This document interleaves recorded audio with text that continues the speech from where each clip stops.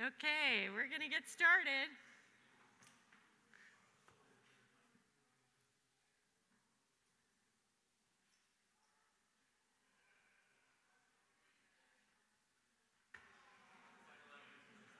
I know, exactly. Where's that bell from last night? yeah, Eric, you should have brought that bell. yeah, yeah. Where's the chimes again? okay. Well, we have had just a great morning so far. Um, what a great thank you, Bob, wherever you went. Um, that was awesome. I think that um, I learned a lot from that presentation, and it really sets us up for where we're going this afternoon. The quote that Rob Johnstone had in there about community colleges being structured to get the kind of results that we're receiving is spot on. And I can tell you from the work that Clark has been doing is that we're not going to stand by and allow that to happen. And our next presentation is on advanced manufacturing. And advanced manufacturing is going to be uh, one of the flagship programs here at Clark College at Boschma Farms. And we're not going to stand by and allow us to have those kind of results. We need it for Clark, we need it for our students, and we need it for this community in this region. This is where things are going. And we are so excited to be in a position that we can truly change the path of this region and what and our role within it. In the state of Washington, we have some major companies, and so think of what we can do for Southwest Washington. So I'm happy to introduce this morning one of our board members, Brad Skinner. And Brad came to us. We, we actually went out and recruited Brad, who had been working with Kevin Witt. And Brad was important to us because we knew that we were kind of going down this path of manufacturing. And we knew this man had been successful over and over and over again. What I didn't know was the impact that he would make and how quickly he has made it. I can tell you that he is in our office constantly, and he is such a wonderful presence. Uh, he gently reminds us of things that we need to get done for him. and thank you for being that, um, that force behind us. I can tell you that what he has produced to date, you are going to find is miraculous. I'm super excited about this particular project within our campaign and within our college. I didn't know much about manufacturing, but I'm learning quickly. And with that, I'm going to turn it over to Brad to inspire us about where we're going.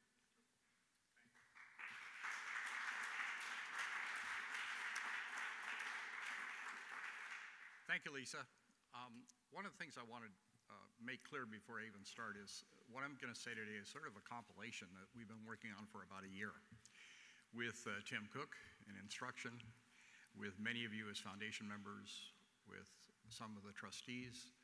And so everything I'm about to say to you is, is very deliberate because it's reflective of instruction and Kevin Witt on economic and community development. Both of those big arms of the college are going to succeed wildly, we believe, because of this program. So during this part of the program, I just want to share what we have learned and discuss the potential opportunity for Clark College. Last night, you received a little preview of some of those concepts, and in the next 90 minutes, we want you to understand the issues that will affect the lives of everyone in this room.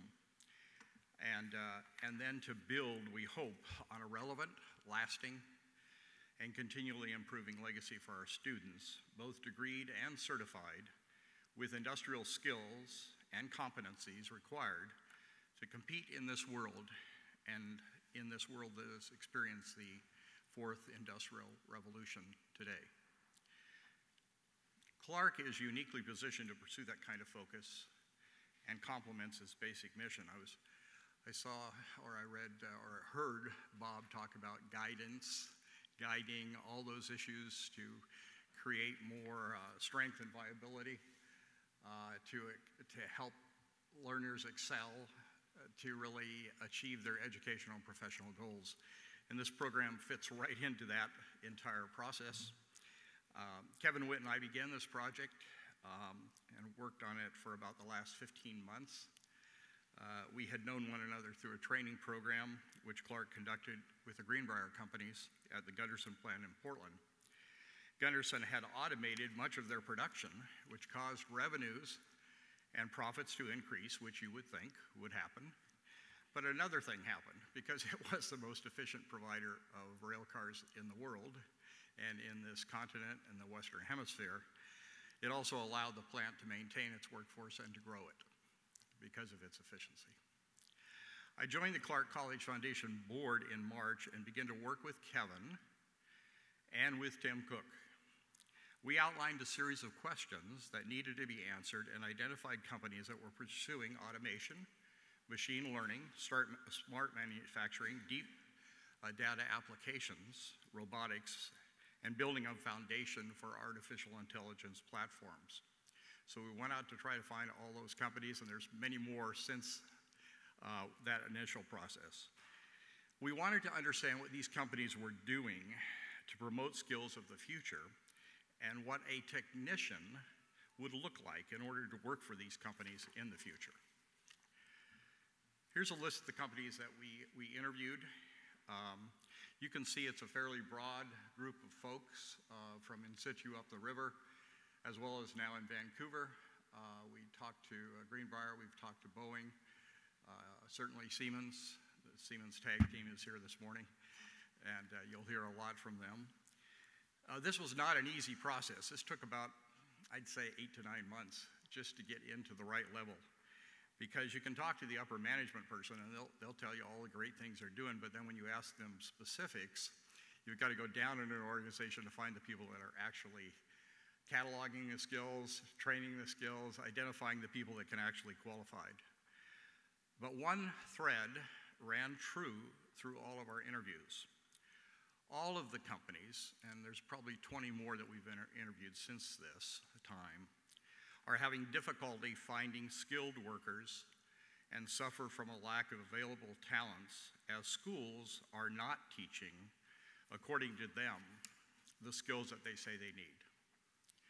This problem is exacerbated by the fact that many of our regional and national manufacturing workforce will soon retire.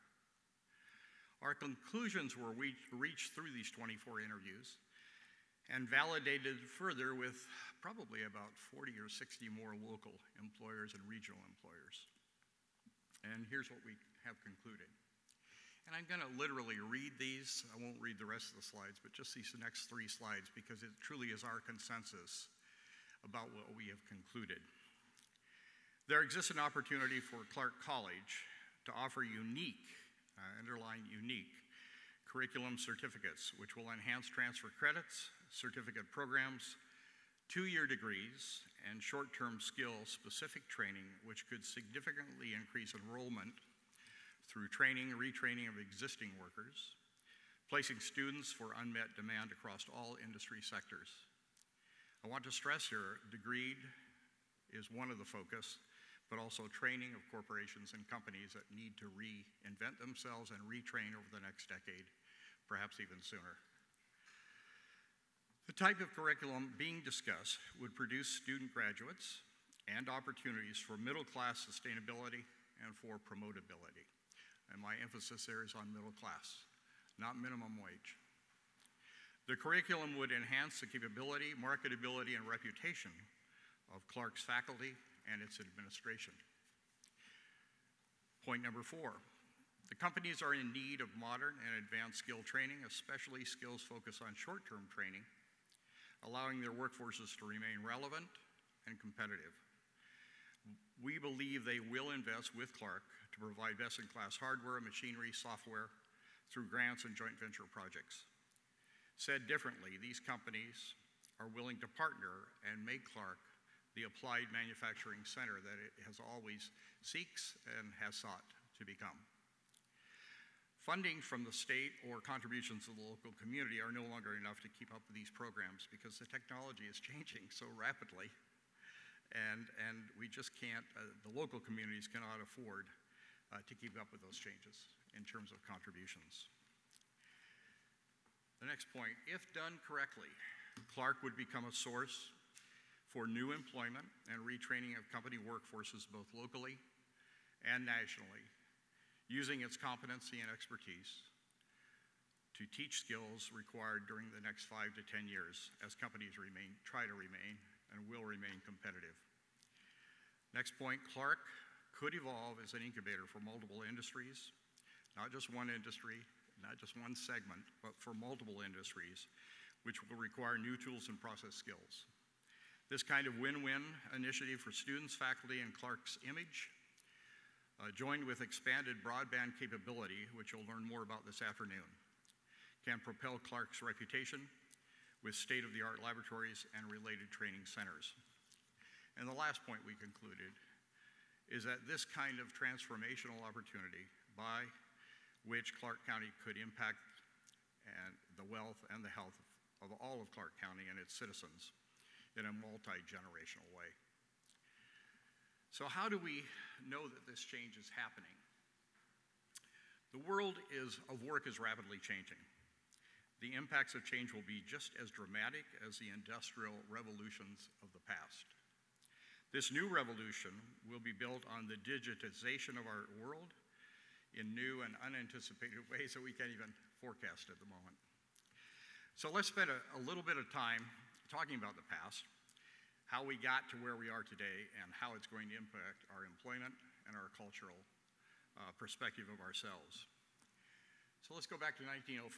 You think about that, that's only 115 years ago. Only. Life expectancy. Yeah, that's right, that's right.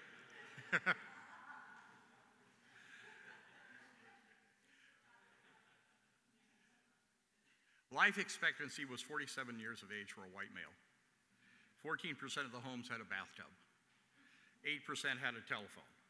There were 8,000 cars in the United States and 144 miles of paved road. The average wage in the United States was 22 cents an hour. 95% of all births occurred in the home.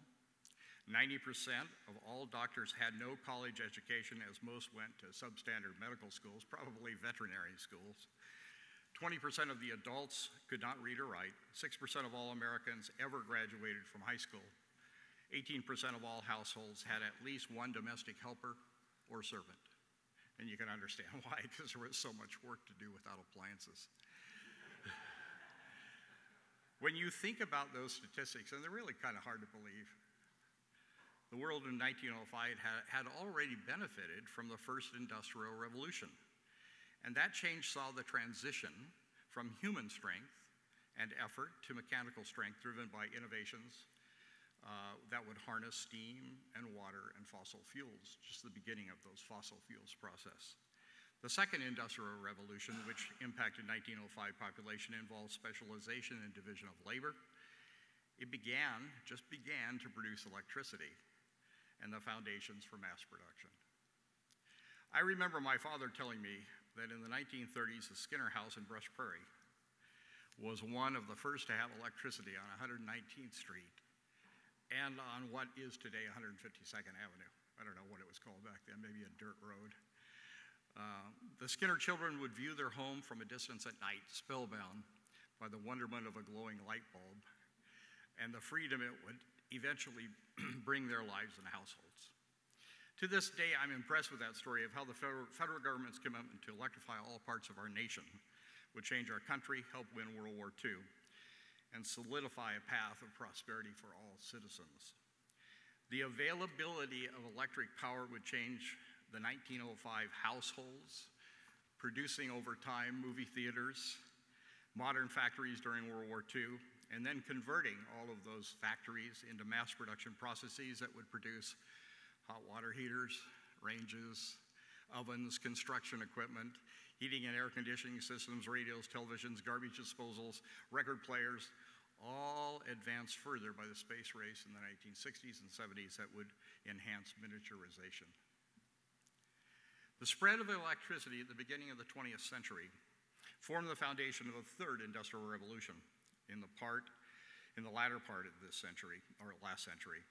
The digital revolution impact of the third is now driving a shift from a mechanical analog world that we probably grew up with about 20, 30 years ago to a digital virtual world, which will change everything. The third industrial revolution made possible products and services that would increase the efficiency and enjoyability of our lives while reducing costs not only in the United States but throughout the world. In the past, new technologies were able to leapfrog older ones, and that's what we're seeing today, as some more advanced economies are already experiencing the impacts of the fourth industrial revolutions, while others are still experiencing the third. I can remember during the past 45 years seeing the transition from IBM 360 systems, which would occupy half of the basement of the Vancouver City Hall, to grander devices utilizing massive storage, to AS400s for distri distributed processing, seeing the transition from impact printers to inkjet printers and laser printers, and tablet computers the size of a pad of paper with the same power as that IBM 360 system in the 1960s.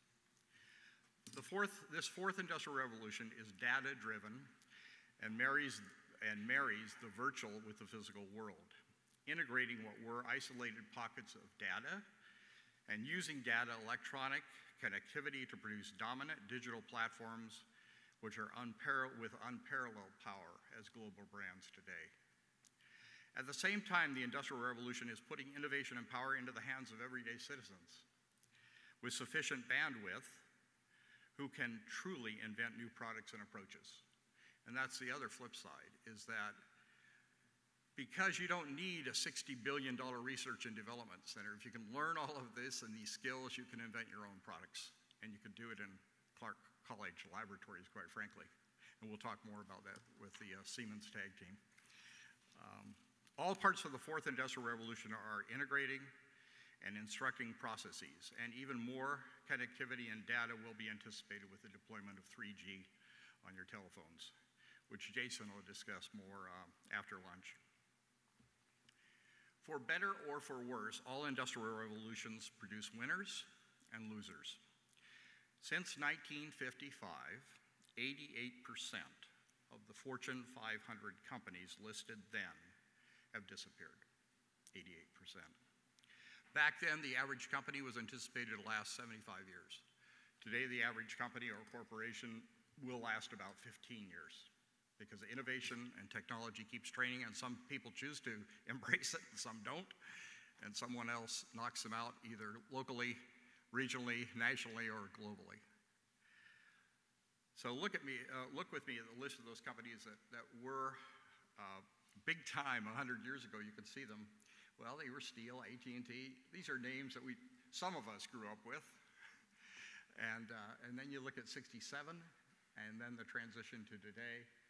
And the size of some of these companies are much bigger than, than the ones of previous years. Been a lot of, of focus on technology, a lot of expansion in efficiency. Um, the new jobs, however, that have been created since the last recession, and this is really important, require specialized study, training, or education. And the jobs being destroyed tend to focus on physical or routine tasks. Validated by our own research, and most recently by a report of the Human Resource Forum, all jobs, both now and in the future, will, re inquire, will require increasing levels of problem solving, joined with integrated social and system skills. Uh, and we'll talk about a little bit more about that. There is an upward bias toward greater skills which will disproportionately affect older and lower income colleagues and those working in industries most prone to automation by new technologies. You can see the transition that's already occurring. If I look at an average company, and these are averages that uh, Forbes and Forum, uh, Fortune have done. If you look at the average company in 1960, there was, there was probably a founder or someone heading it. That person had an advanced degree. And then the next level of management, there are probably about two people. These are just proportional ratios. Two people with skilled degrees that help that person uh, run the company. And then there were some real skills. There was an accountant or a bookkeeper or other skills in 1960. And those skill descriptions have changed into more complex jobs. And there were a bunch of people that probably had uh, less than high school or high school educations, and they did all kinds of work. You know, they were out there on an assembly line, they did various things. That's 1960. Now, 60 years later, this is what we're seeing uh, by looking and traversing and all of the data we have about companies. There's still that person that finds the company, founds it, and, and leads it. And there's some people working for that person. Proportionally, there's that ratio. And then there's those skilled workers, but those skills are very different than the skills of 1960. They're more, more digital, they're more demanding, but there's not a lot of people doing a lot of manual brute force work anymore. There's one unskilled worker in that kind of a ratio. The changes that are, and the changes are also illustrated uh, by the Automation and Future Work sponsored by the Portland Business Alliance, which also included Southwest Washington, where this research really began in 2013. It's been uh, updated each year through 2017. And you can see some of their, their um, summaries of just who's going to be affected. But the most important part of this slide, and we can provide these slides to all of you later, but you can, you can see here, my little laser pointer, that uh, 80% of the job tasks done by people making under $20 an hour, unfortunately, are the people that are going to be disproportionately hit by automation and by systems under $20 an hour. So we've got to figure out a way to get more skills into the hands of people that are attending places like Clark College and others so that they will have middle class jobs that will pay for themselves and for their future of their families going forward. The next slide illustrates who will likely be affected, and you can see it's going to be this is the state of Oregon, and pretty much the percentages are the same in almost all areas. Uh, there could be up to 49% of jobs affected. Now, what does that mean? It means that there's going to have to be a lot of retraining because the jobs are being redefined through technology. McKinsey and Company says that, or they believe that uh, there'll be uh, an impact of 47% jobs disrupted or changed over the next decade with a net loss of 5%. Well, that's still pretty substantial if we lost 5% of all of our jobs. Uh, that's not good. But anyway, it's, it, it's a process that people are going through, and that's why we believe there needs to be retraining and training set up in institutions like Clark, as well as for degreed, as well as for corporations and certificates. Go ahead with the next one. You can also see who, who is affected. The, the orange color are high-risk jobs. Uh, Rick Kakash is very much on this, accommodation and food services.